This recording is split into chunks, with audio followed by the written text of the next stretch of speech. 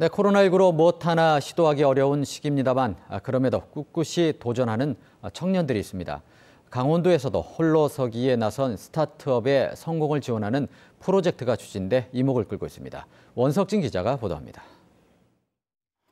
휴대용 플라스틱 기계에 콘택트 렌즈를 올려놓고 간편히 안구에 밀어넣습니다.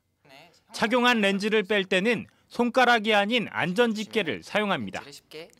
세균이 묻기 쉬운 손가락으로 꼈다 뺐다 하는 렌즈를 보다 깨끗이 착용하기 위해 도내 스타트업이 개발한 제품입니다.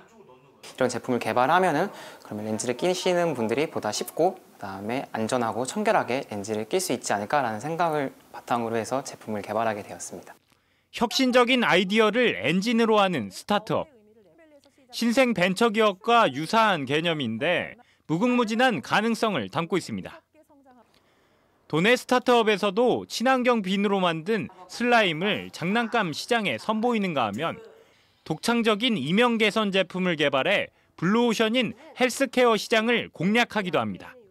친환경 클레이를 아이들이 많이 가지고 놀 수 있도록 해서 이제 기존 제품으로 이제 발생되었던 플라스틱 쓰레기를 줄이고 아이들이 앞으로 자라날 때 환경을 사랑하는 그리고 생각하는 그런 마음가짐을 가지고 클 수 있도록 실력 있는 스타트업을 발굴하기 위한 도전 G 스타트업에 참여한 알짜 기업들입니다. 실력 있는 스타트업을 발굴하고 경쟁을 통해 서로 성장하는 계기를 마련하기 위해 오디션 형식으로 진행됐는데 도내 16개 업체가 참여했습니다. 국내 정상급 스타트업 선배들이 심사위원과 멘토로 참여해 전문가 컨설팅도 함께했습니다.